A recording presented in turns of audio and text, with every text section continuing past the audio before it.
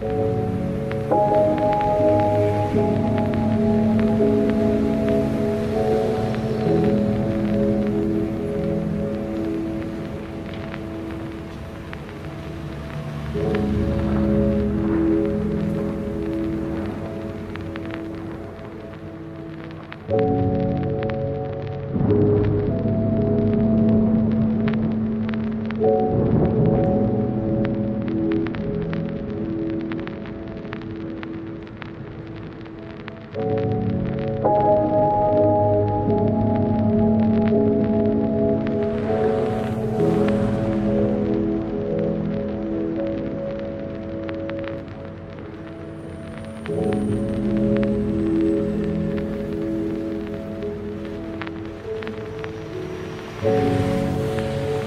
you.